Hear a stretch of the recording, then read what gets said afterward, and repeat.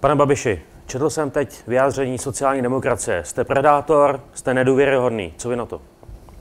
Tak mě to strašně mrzí, že sociální demokracie mě označuje jako opozici, jako de facto nějakého nepřítela. Hodně tvrdě, jako hodně tvrdě. Sedíme spolu ve vládě, na jedné straně pan premiér říká, že jsme úspěšná vláda a zároveň označuje za toho nepřítele, tak Pan premiér, je to nezvyklé. nejste férový hráč.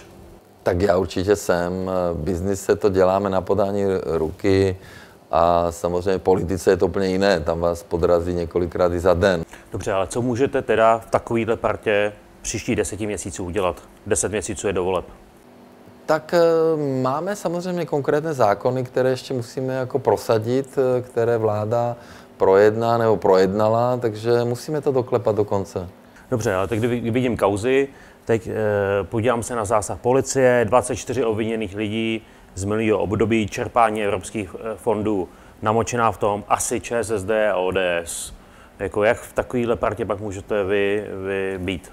Ale tak naši občané dobře vědí, kdo tady vládne od revoluce. To je mm, samozřejmě problém ČSSD eh, a pan premiér byl první místopředseda, takže podle mého názoru by určitě, já bych na jeho místě určitě ty členy jako vyloučil. On říká, že můžou zůstat a že rozhodne soud, to je sice jako hezké, Že ale... byste jednal tvrdě hned? Doopravdy můžeme se na to Tak spolehnout, že pokud, když pokud by se to stalo u nás porušení, a měli jsme už jeden případ, tak jsme to řešili velice radikálně.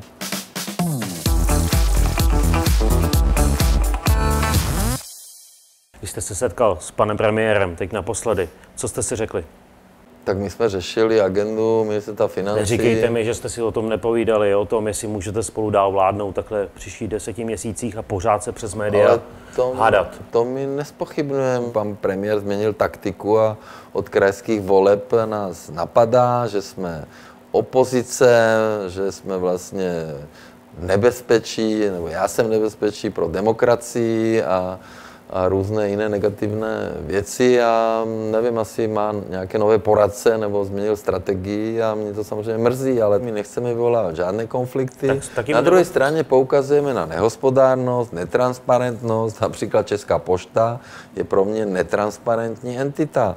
Pan Chovanec odmítl zveřejnit IT zakázky České pošty. Je tam neschopný management, který bere nehorázné peníze v porovnání s těmi zaměstnanci a, a samozřejmě ta firma je špatně Dobře, řízená. tak máte mít někoho v dozorčí radě, máte, máte tu Máme, máte ale tím je, tím je vyhrožováno, že pokud by dali mě jako ministru financí informace, tak uh, riskují nějaké trestné stíhání.